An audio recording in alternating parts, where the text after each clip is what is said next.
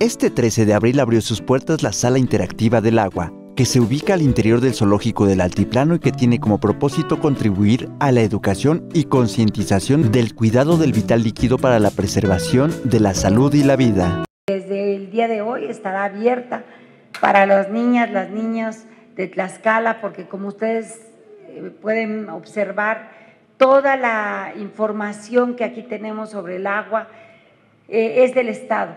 Tiene que ver con con nuestros bosques, porque no nada más eh, pues el agua eh, tenemos que cuidarla, sino también el medio ambiente, el medio ambiente que tiene que ver también con que cuidemos el agua.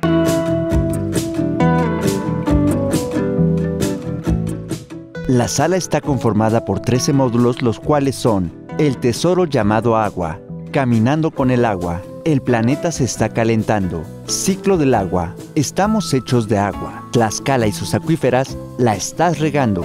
Contaminación del agua hasta el cuello, dejando huella y el agua a través del tiempo.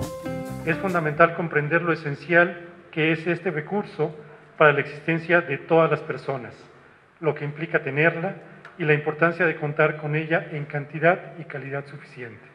Este espacio de cultura del agua tiene una superficie de 120 metros cuadrados con capacidad para 100 personas que podrán disfrutar de una sala interactiva y de una bella adaptación museográfica.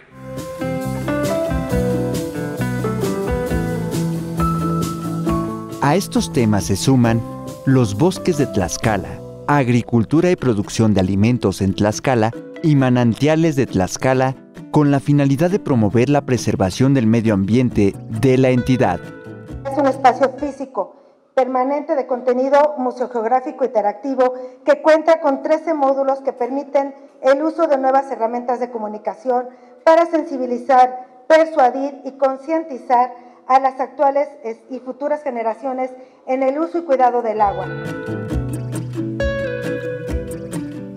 La sala interactiva del agua está destinada para desarrollar acciones educativas y culturales que difundan la importancia del recurso hídrico y promuevan su uso responsable a través de otras acciones más como exposiciones digitales, actividades de capacitación para promotores de la cultura del agua y educadores, entre otras. Con información de Edith López, Ahora Noticias.